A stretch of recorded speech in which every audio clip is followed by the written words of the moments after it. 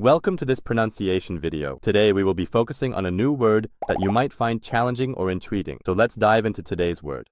pume, which means In arms in Korean. let's say it all together. pume.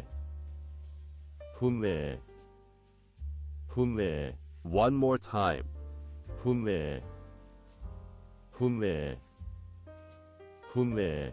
Thank you for joining us on this adventure in pronunciation. Remember, language is a journey, not a destination. Keep exploring, experimenting, and expanding your linguistic horizons. We'll see you next time.